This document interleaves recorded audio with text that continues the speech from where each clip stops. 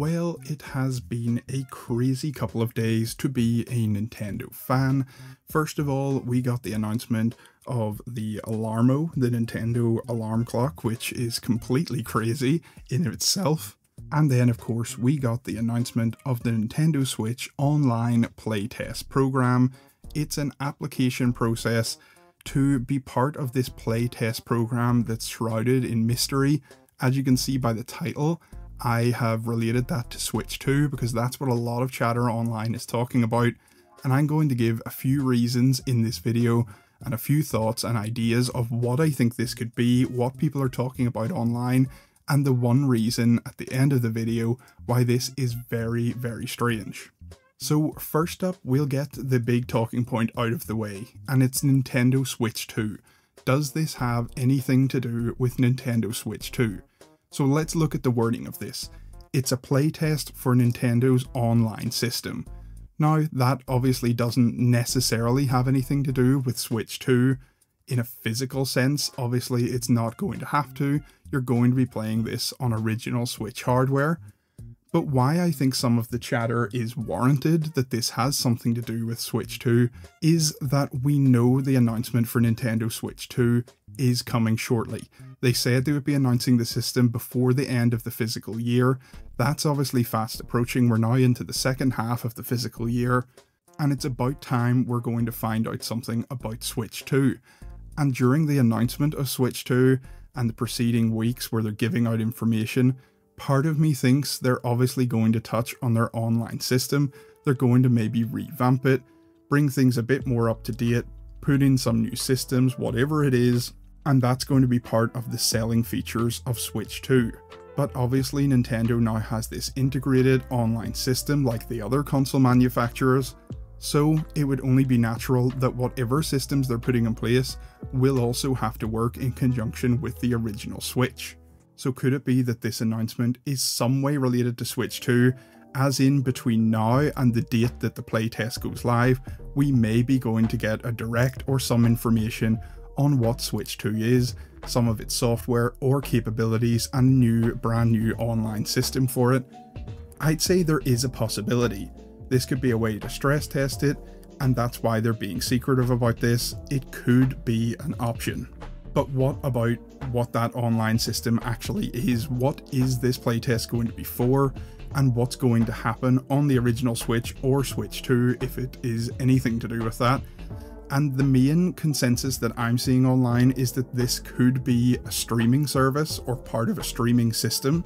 We know Xbox obviously has Game Pass, it's been pretty successful with that in terms of its streaming capabilities.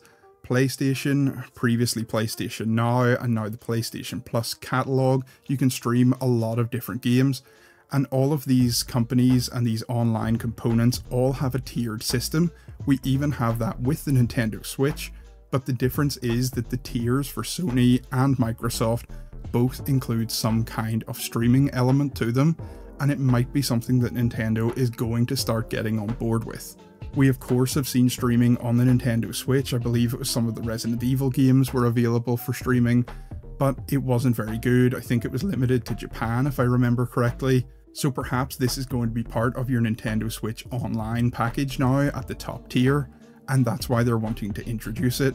And that is something that I can see being tied into a Switch 2 announcement, and maybe that is why we haven't heard anything, because they're going to announce the Switch 2 before this playtest goes live, and during the announcement they're going to say, this console is capable of X, Y, and Z, and it's also going to have game streaming on it, and you'll be able to test that out on Nintendo Switch as well. So you're going to be able to not be left in the dark if you just have a Switch and you don't have the money to upgrade as of yet.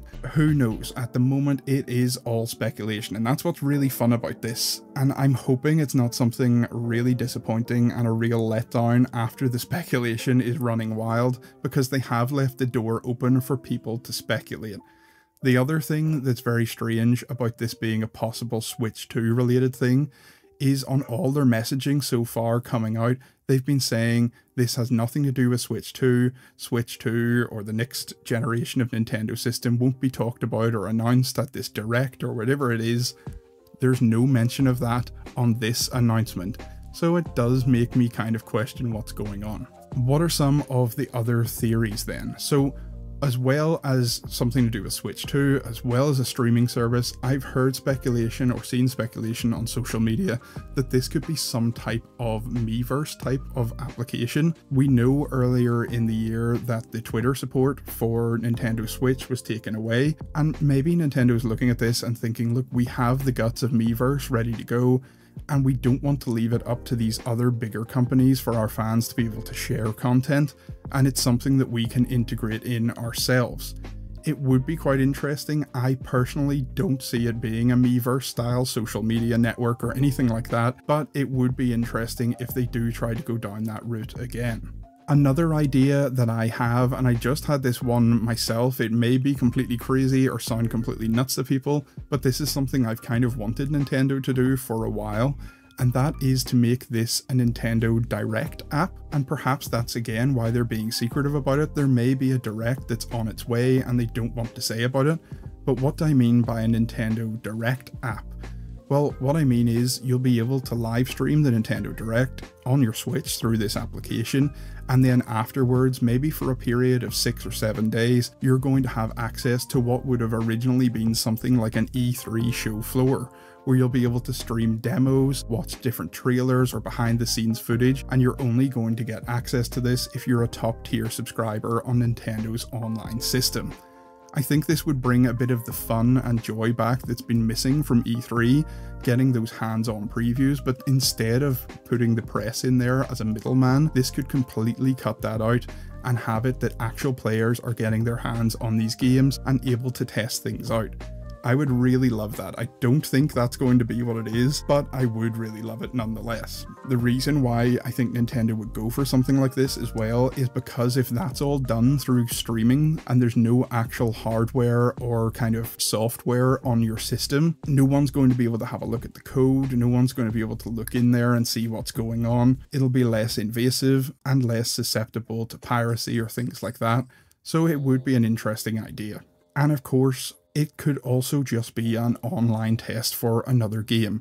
There are rumours swirling that Switch 2's announcement or a direct is coming soon. Who knows, maybe there's a game that's coming up that we don't know about, or maybe it's the online test for a multiplayer component of the new Metroid Prime, and they just don't want to tell us exactly what that is yet because they're about to announce it in a direct or a trailer or something that's going to be shown in the next couple of weeks, and that's actually secretly what we're all signing up for.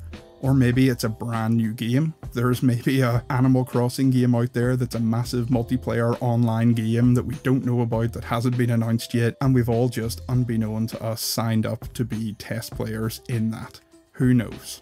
And I said at the start of the video I was going to say about one piece of information that makes this really strange and different, and I have touched on it a little bit throughout the video, but it's the fact that Nintendo aren't saying anything about this. We've had playtests for the like of Splatoon or ARMS in the past, this just feels a little bit different. They're being secretive. There has to be some type of reason behind it. I think people are going to be quite let down if it's something really minor, and it would beg the question of why wouldn't they just say what it was in the first place instead of being secretive about it. I have signed up for the program. I got accepted, so I'll be able to look at it and tell you all what it is when the time comes. But when you sign up for it, it still doesn't tell you anything. I believe it says to come back on the 21st of October for more information. So obviously that's that's a few days away as of yet, so maybe between now and then we'll be expecting a direct or some kind of announcement and that'll make things more clear. But let me know in the comments below, definitely sound off what you think this is. Is it Switch 2? Is it a streaming service? Is it something completely wild I haven't mentioned in this video? I'll reply back to anyone that comments below and we'll get a good discussion going about what this potentially is. I'll see you all in the next one.